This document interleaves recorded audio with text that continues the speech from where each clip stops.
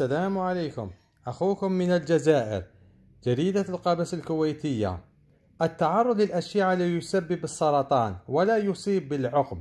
من الاكتشافات التي تركت بصمة غيرت حياة البشرية اكتشاف أشعة السينية.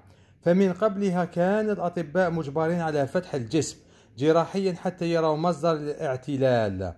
أشادت الدكتورة ليلى غضنرفر رئيسة قسم علوم الأشعة في كلية العلوم الطبية المساعدة بجامعة الكويت بجهود الكوادر المحلية وقالت التصوير الإشعاعي من أهم الفحوصات التي تشخص الأمراض وتساعد على الكشف المبكر للسرطانات وتقيم الحالة الصحية. وفقا إلى الدكتور رائد السعيد عضو في هيئة التدريس في قسم علوم الأشعة ينسب اكتشاف الأشعة السينية إلى العالم ويليام رونت جون في عام 1895 بينما ينسب للعالمين هنري بيكرل وماري كوري اكتشافات أحدثت نقلة كبيرة في مجال تقنيات الطب النووي.